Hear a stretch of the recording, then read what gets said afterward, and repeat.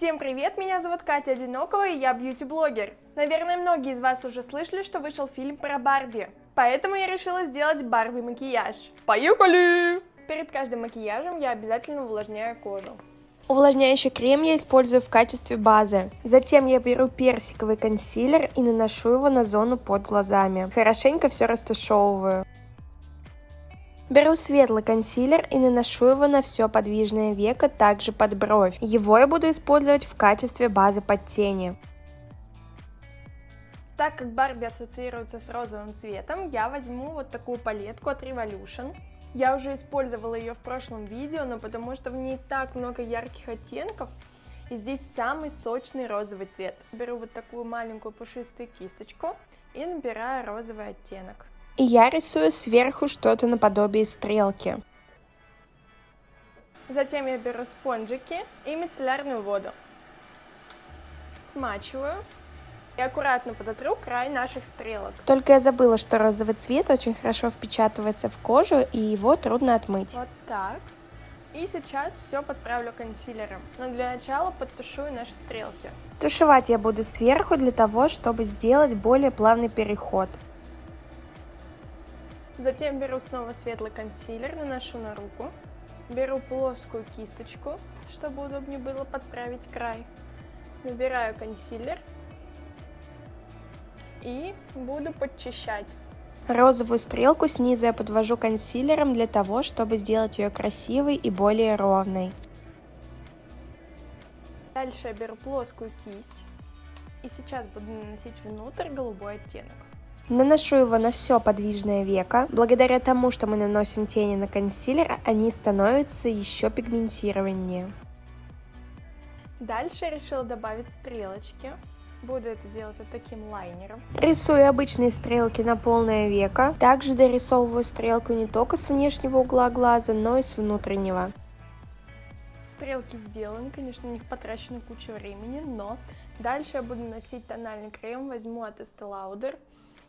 Это самый плотный тон, наверное, еще плотнее от Smashbox есть. Нам нужно идеально ровное лицо, потому что у Барби оно идеальное. Этот тон очень быстро застывает, поэтому нужно наносить его как можно быстрее. Конечно, в идеале хочется получить эффект фарфорового лица. Затем я возьму хороший плотный светлый консилер от Catrice.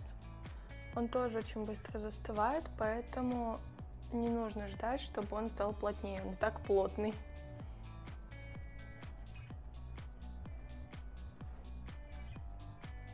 Итак, идеальный тон готов, приступаем к сухой коррекции. И хорошенько все припудриваем. Для этого я взяла пудру от Эвелин и пушистую кисточку тоже из прошлого видео. Сильно я себя выбелила, сделала небольшой бейкинг. Надеюсь, благодаря этому у меня получится сделать хорошую коррекцию лица. Дальше я беру, скульптор и хорошенько делаю себе лицо, как у Барби. Обязательно прорисовываю высокие скулы, а также контурирую носик, чтобы он был такой же маленький и аккуратный.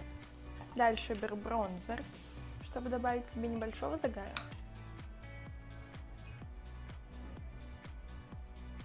Конечно же, розовые румяшки. У Барби они всегда очень ярко выраженные, поэтому не жалеем их. Моя любимая часть хайлайтер. Мне осталось только нанести розовые тени на нижнее веко.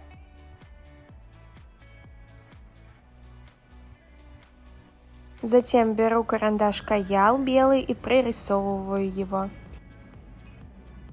Наш образ подходит к завершению, это значит, что я уже рисую брови карандашом от Vivienne Sabo в оттенке номер 2 и укладываю брови гелем от Art Visage. Так как у Барби светлые глаза, я решила надеть линзы. Вы только посмотрите, какой эффект сразу же. Ну и, конечно же, красим реснички. Не забываем хорошенько их прокрашивать от самого корня. Не забываем про губы и наносим на них розовый карандаш. И для эффекта блеска на губах мы добавляем блеск, который имитирует жидкое стекло. И в конце я добавляю сережки, надеваю розовую кофту, и вот такой макияж у нас получился. Оцени в комментариях мой образ от 1 до 10. Ставь лайк, подписывайся и пиши, какой следующий макияж мне сделать.